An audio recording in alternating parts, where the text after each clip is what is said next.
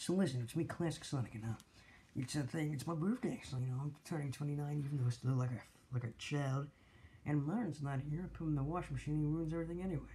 Just think of everything after the classic games and Sonic Forces. Anyway, see you guys later.